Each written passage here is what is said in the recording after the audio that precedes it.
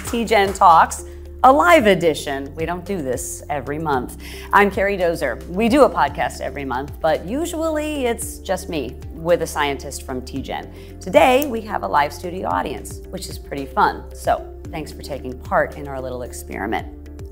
Subject of tonight's podcast is aging. There's not a single person watching or listening who's excited about getting older.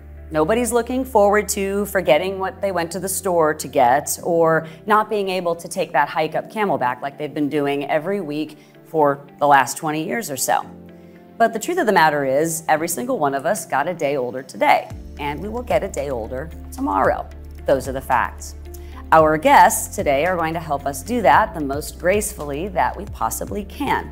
Optimize our aging, if you will. So, this episode of TGen Talks has two live guests in, in studio with us Dr. Nick Schork and Dr. Matt Huentelman. Thanks, guys, for taking, taking part in our experiment. Thanks for having us. Yep, absolutely. You are both TGen researchers who are experts in the field of aging. You more in the physical sense, and you more in the brain or mental sense.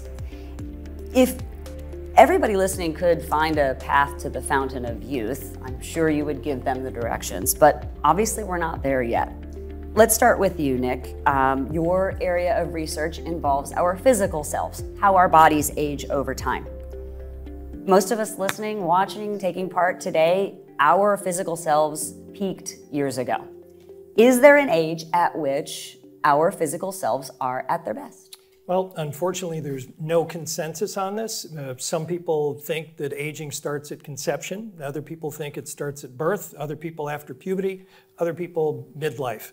Uh, I think where I come from, uh, aging unfortunately starts at conception because there are processes that are kicked off and, and start that actually start to accumulate damage to the body. So we need to basically take care of ourselves throughout our entire lives. That's pretty discouraging. Nobody's thinking about aging at conception or in their teens or probably in their 20s either. It's true. So, what are we supposed to do about it? Well, there's uh, some obvious things to do. I mean, keep fit, to eat right, all these sorts of things. But uh, as you maybe uh, encounter signs of disease, you definitely should take care of them. You know, there's no question. Is our human body, as it exists today, designed to live 80 or 90 years? Because on average, men in the United States live 77 years and women live 81 years. Are we set up for this at this point in time?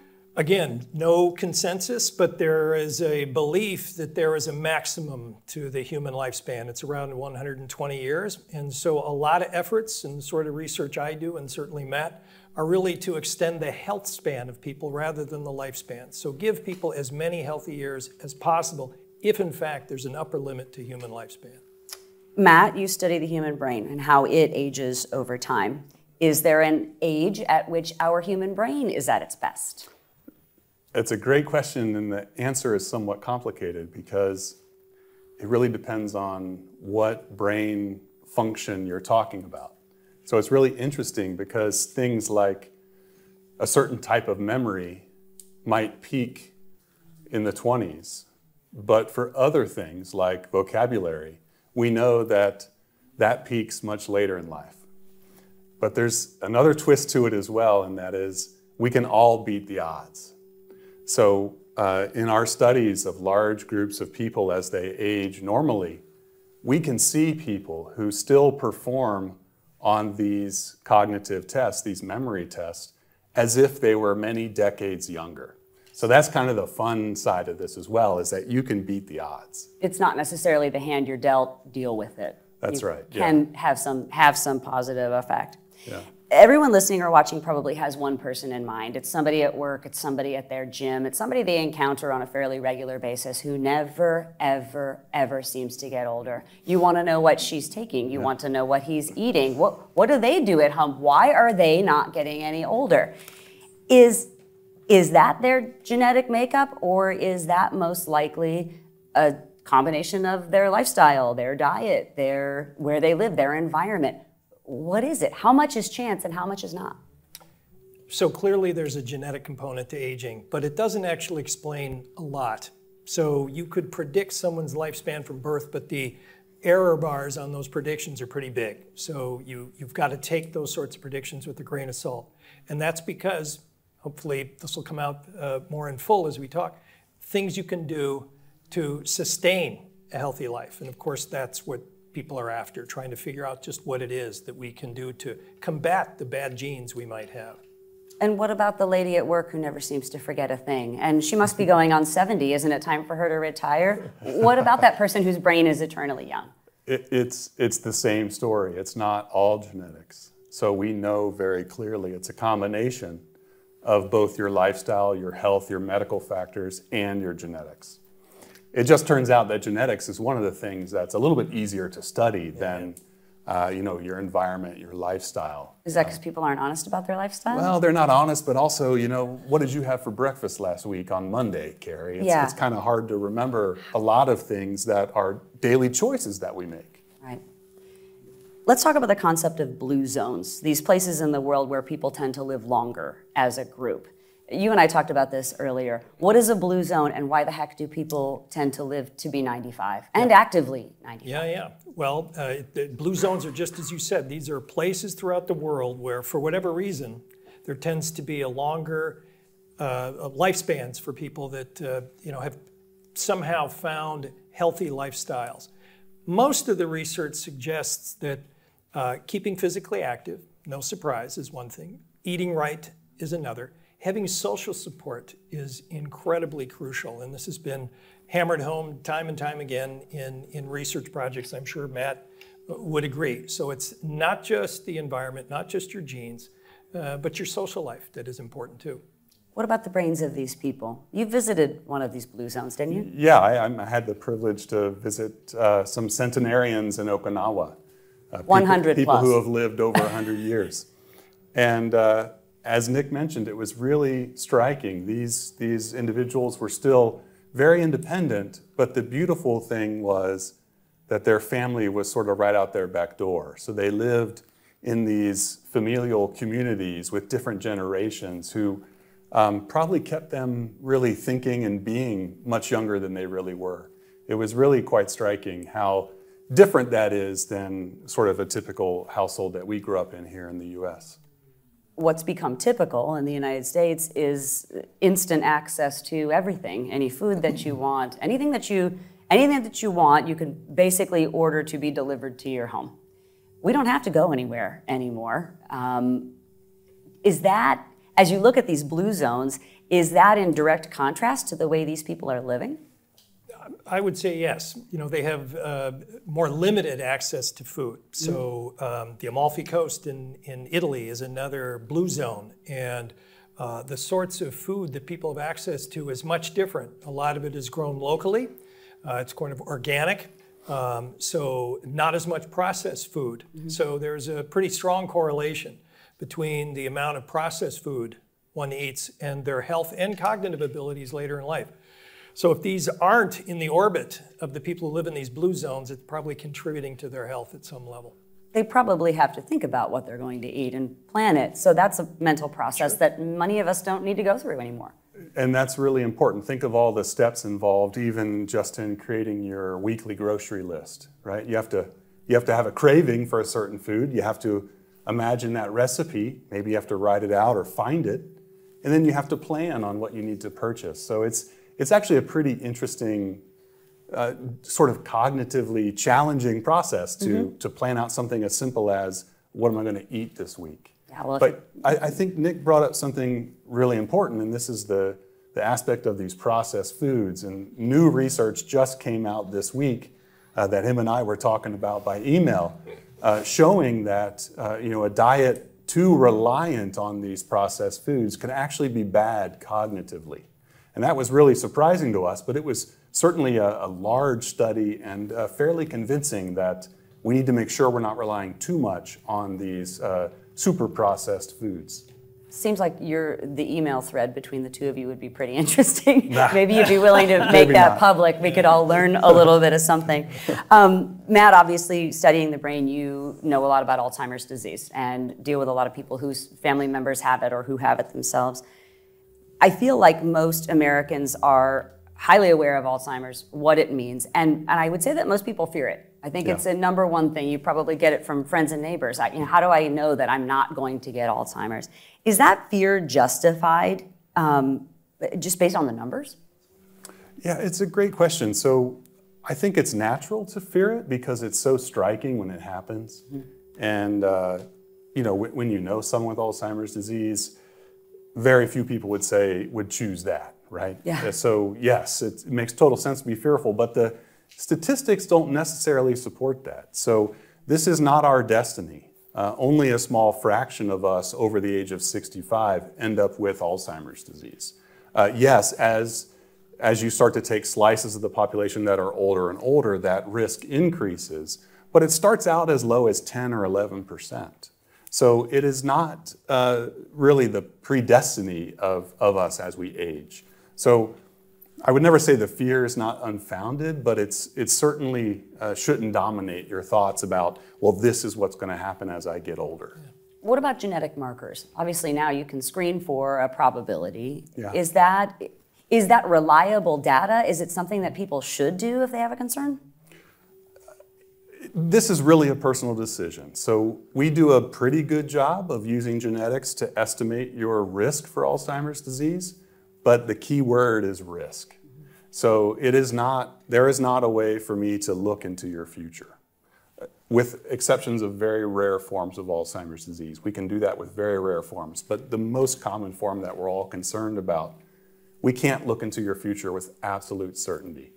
So some people feel empowered by that. They want to know if they have higher risk because they're going to do things. They're going to change maybe their planning, uh, their savings, they're going to change their wills.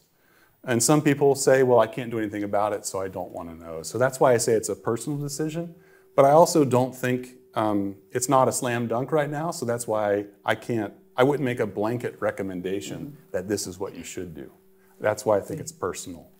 Does when someone is diagnosed with Alzheimer's, and it's official, it, it is an official diagnosis. It, It's not a it's not a question after a certain point in time. Is there a physical ramification of it, or Sure. is it purely a brain disease? No, there's physical manifestations, but just to, to the point, um, and I'll share this story with you. So there is a gene, it's called the ApoE gene, one gene that Matt has studied and his colleagues.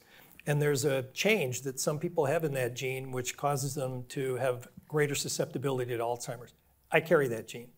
Uh, my mother had Alzheimer's disease, so I have been paying attention to developments in how to prevent and treat Alzheimer's disease.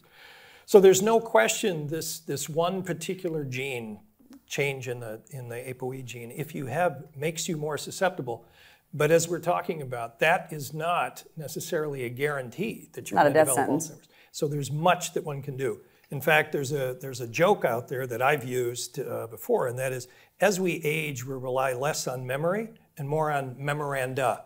So I write things down, Yeah. I take steps uh, to make sure that I've got things uh, coordinated, and uh, you know, uh, wish I had done more of this with my with my mother to Yeah. sort of get her to kind of be more active in, in preparing her day and, and taking part to sort of get her more involved in, in you know thinking about things. Yeah.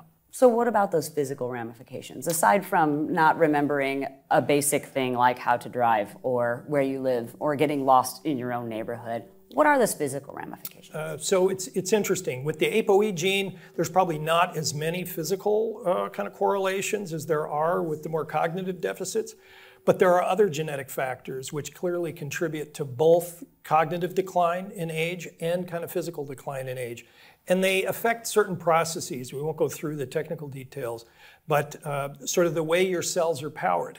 There's a uh, organelle called the mitochondria in your cells, and those tend to wind down and contribute to aging. So there's known to be genetic factors that kind of complicate the powerhouse of your, of your cell, and those contribute to both cognitive deficits as well as physical deficits.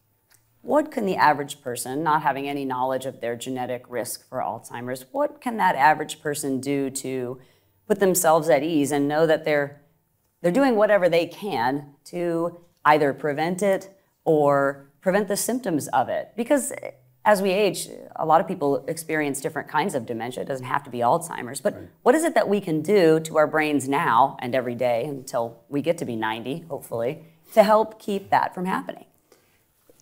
Get this question a lot, Karie, and I think uh, it's it's one of those that drives our current research as well. So what what can you do? There's a long list of things that we know have scientific evidence to support brain health. The interesting thing for the audience is that most of those are also supportive of body health. Mm-hmm. So good for your body, good for your brain. Things like eating well, eating a balanced diet, eating a healthy diet, getting the necessary sleep that you need each night. Some people it's seven hours, others it's nine. Find out what you need and don't skimp on your sleep. Uh, exercise, both strength training and aerobic exercise. And another big one is uh, socialization. Get out there, do things. Uh, come to an event like this, meet new people, uh, hear new things. That's just four on the list, okay? The list gets really long. So I think what the problem is, that list gets too long. It gets daunting. I don't have time for it all. Right. Some people say, well, I want to do all those every day because I want to I want to really help my brain, so I'm going to do all the things on the list. Uh, and that's just too difficult. There's not enough time. So, one of the things that Nick and I are trying to do together is to understand how we can prioritize this list for an individual person. Yep. So, for you, if you only had an hour, what should you do? Should you focus on cooking the best food? Should you focus on exercise? Should you focus on socialization? We don't know that answer just yet. That's why our list is so long. So, we want to find out a way to recommend prioritized things to each person individually. What should you do now that has the biggest bang for your buck, biggest bang for your investment of time? Is there any truth to the idea or merit to the idea that what it is that you want to go do?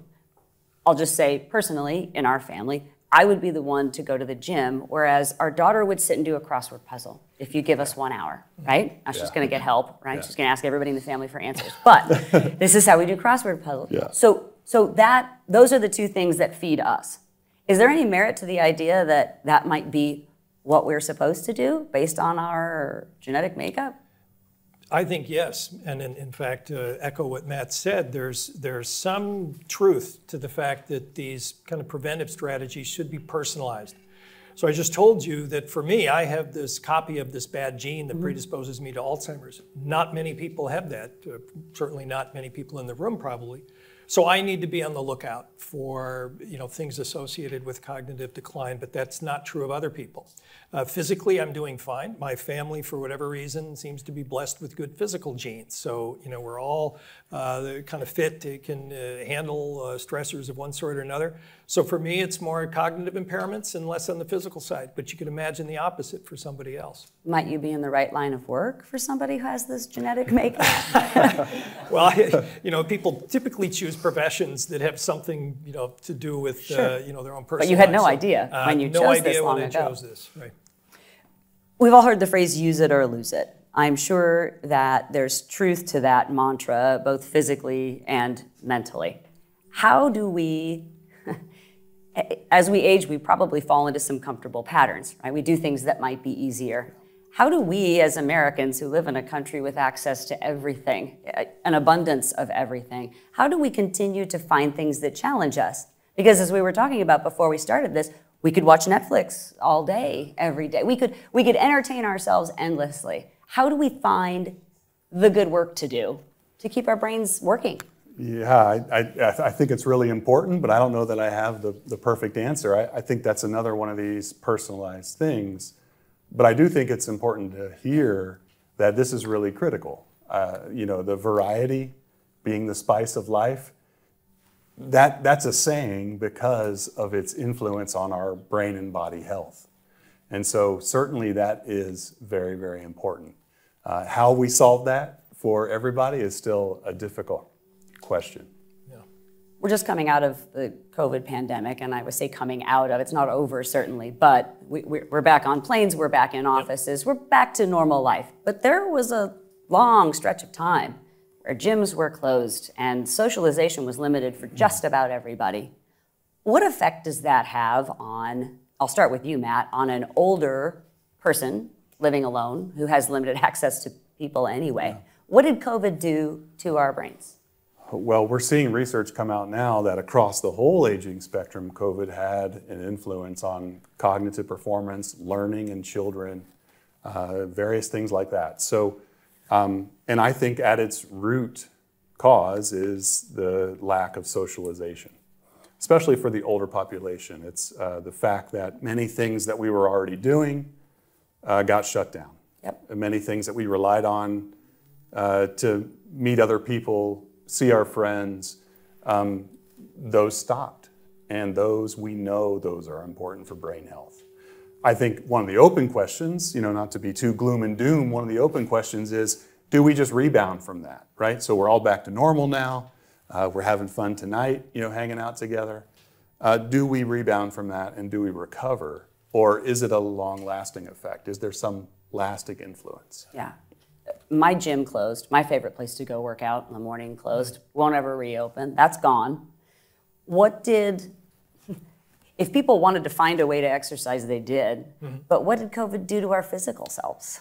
Yeah, well, It set us back a couple it- centuries? It definitely did. Sadly, uh, people took up, uh, you know, poor eating habits, did all sorts of other things that really contributed to kind of physical decline.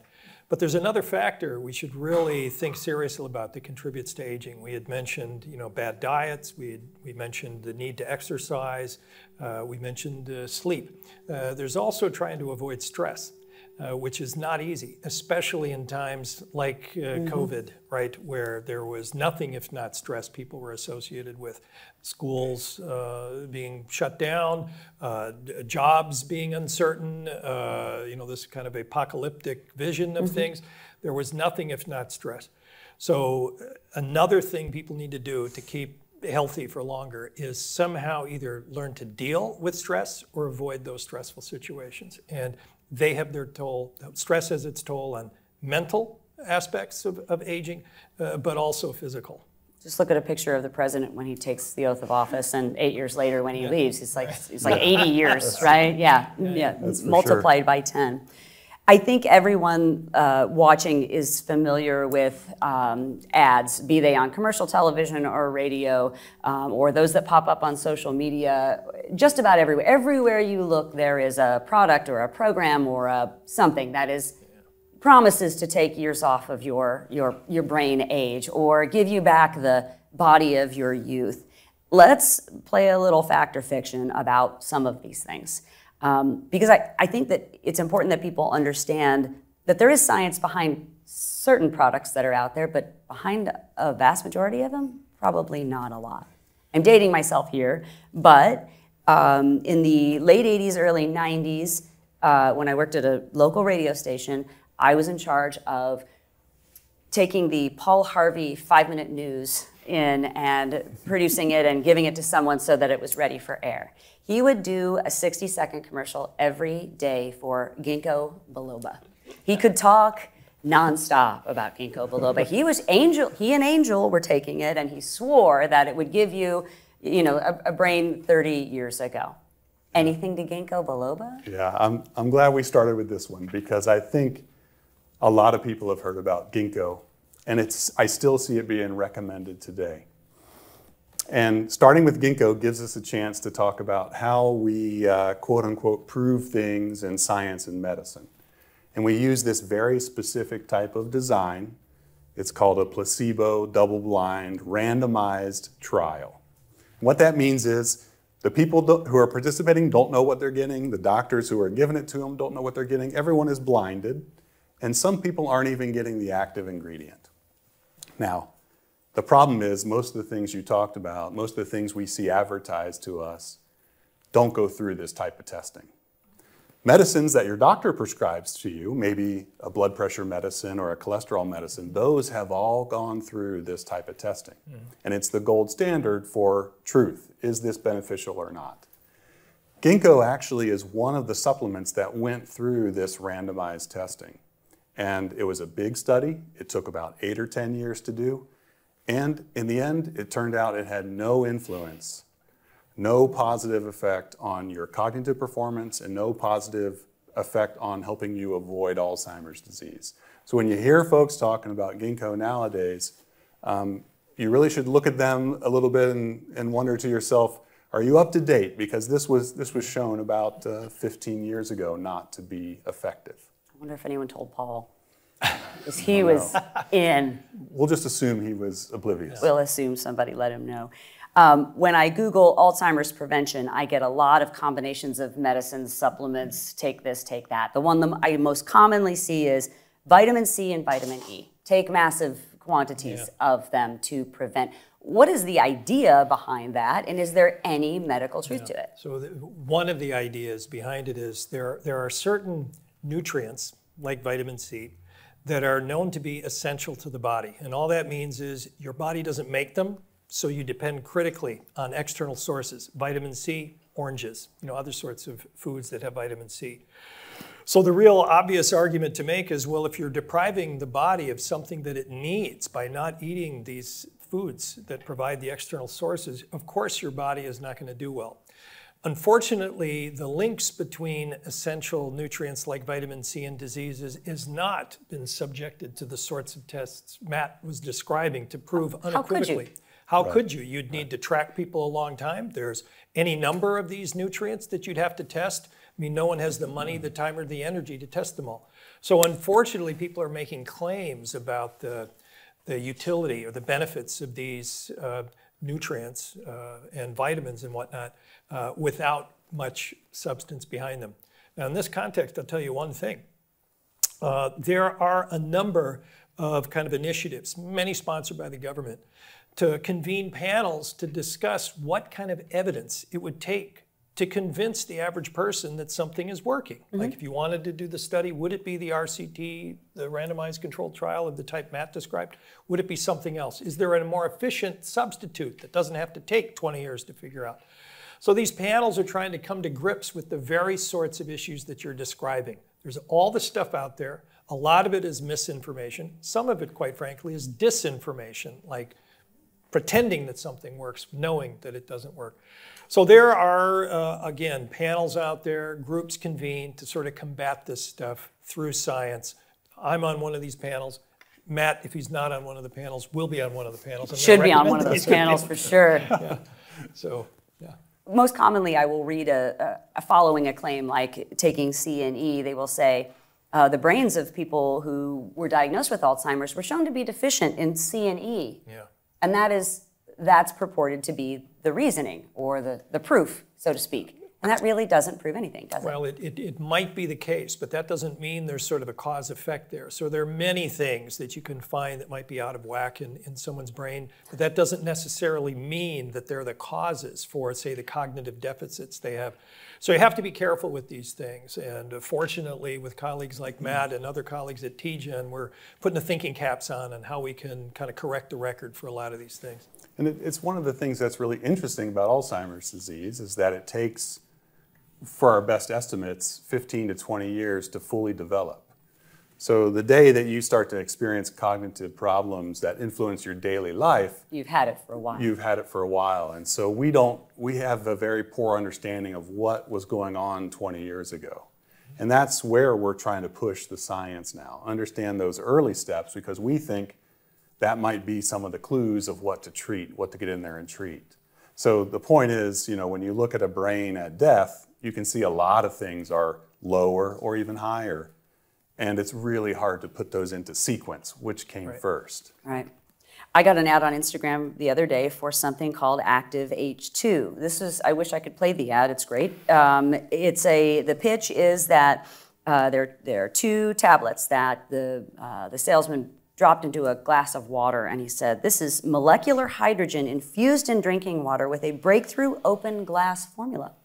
And it, it fizzes just like an Alka Seltzer. And, and his claim is that uh, it, it will infuse your water with molecular hydrogen gas.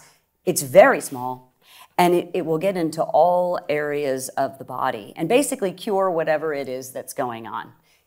Is there any is there any reason to believe a claim like this um, that finds you on social media? I, I would say with without knowing what they're basing it on, I would be very skeptical. You know, most of these sorts of claims uh, should be backed by hard science. And if you see an advertisement in a, in a magazine, you know, there's usually in the fine print, This has not been tested mentions- on humans. Right. Yeah. And if you see that, I think you should run. If it, if uh, there are references, uh, then you could ask someone, Matt, myself, anyone, scientific uh, friend or whatever, is this legitimate? Because there is a lot of hype out there that uh, there's just no scientific basis for it. Do you guys get really tired of answering questions from your friends and your neighbors about what they should be doing? No, because I learn about new things all the time. You know, I'm, I'm, I'm interested in the Alka-Seltzer drink. Yeah. I'll send you the ad. I'll send that along. Bottom line, it sounds like all of your advice, I won't even call them tips because they're not products, it's just ways to live. All of this is free. All of the things that you're talking about, obviously, a, a good diet might cost a little bit more and it's not very convenient. But these aren't supplements, these aren't programs, this isn't anything extra. This is all something that really should cost nothing. Yeah, well, they cost time and effort, though, and I think that isn't necessarily free. You have to, you have to actually make a choice. And I feel like that's difficult for us as humans, right? Like you said, we can all sit at home and can order anything I want. Yeah, binge on the on the newest Netflix show and order anything we want to our doorstep. So I think that's perhaps one of the things that we struggle with is actually making that choice. Um, so you know, yeah, they are free, but I think there's still a little bit of activation energy, as we would say in the science world, you know, to, to get over that hump. Yep. So, not to put a dollar sign on it, but January headline reads something like this Jeff Bezos wants to never get old, invests in anti aging company. The number is $3 billion in a, a company that has some legit pharmaceutical executives and physicians. This isn't a lark. $3 billion. It's obviously a huge investment, and he's not the only one doing it. How big a number is that as far as medical research is concerned? Because it sounds giant to me. But I'll ask each of you, Nick first, if you had $3 billion to invest in something, where would you start? Yeah, it's a great, great question, and I wish I did have $3 billion to invest in this area. Um, I, I would probably uh, spread the wealth a little bit in, in terms of identifying things that might shed light on how we could lead healthier lives. With companies uh, like Altos Labs, the, the Bezos lab, and Calico, which is the Google equivalent to Altos, has their own $3 billion budget they're focusing on one or another things, and I think from my perspective, that might be limiting uh, because we know there are multiple things. We just went through a bunch that contribute to, to kind of healthy aging. And so I would, uh, again, take multiple shots on goal, probably not confine attention to any one. I think that'd be pretty much what I'd argue. I don't know. Yeah, $3 billion.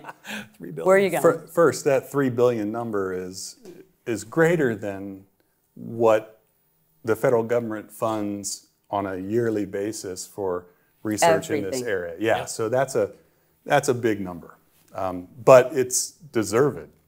Uh, this topic needs this attention. Uh, how I would spend it is really uh, getting focused back on the U.S. public, trying to get them engaged in science, get as much participation as we can from all walks of life because that's really, really important for us as we study this complicated process of aging. And it's really important that when we make findings, which turn into public health suggestions, that we're making the suggestions to the right people at the right time for the right reason. Sure. And because of that, we need, uh, you know, really the involvement of our whole population. It sounds grandiose, but it's, it's really, really an important part of this. Not so many people out there participate in scientific research, but yet a lot of us reap the benefits of those, you know, of the new drugs uh, that we need to survive or the new things that we learn about our brain or our heart or our lungs. Uh, and so we need more participation to make it richer, make it stronger, Broader. broader. All right, last chance. Any secrets? Is there anything that either of you two do or take or drink on a daily basis that you feel needs some attention? Any secrets? For me, it's exercise, uh, uh, avoid stress to the degree that's possible in a somewhat stressful be environment. the hardest thing. The hardest thing. yeah. hard. Uh, I um, Yep, I uh, eat right, uh, or at least uh, try to eat right.